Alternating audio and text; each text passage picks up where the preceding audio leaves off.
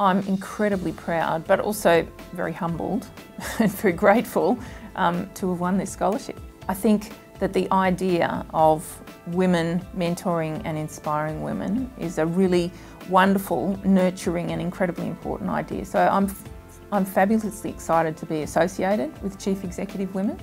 One of the greatest things I'm looking forward to with this uh, scholarship actually is that I think it will help my business judgment and the efficiency that I'm able to do things with and that in and of itself is going to be incredibly helpful um, to my ability to move across working and my personal life with my son. So I think I've been incredibly fortunate to have had an unbelievably varied career. Um, I once saw a cup actually for a tour, a summitorian, and uh, it said you'll be a musician, a stockbroker or a banker and I've actually been all three.